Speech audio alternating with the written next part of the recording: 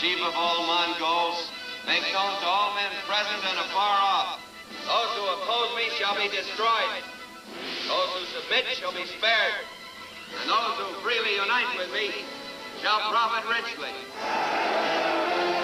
In war-torn Mongolia, love may be the greatest conquest of all. John Wayne and Susan Hayward, the Conqueror.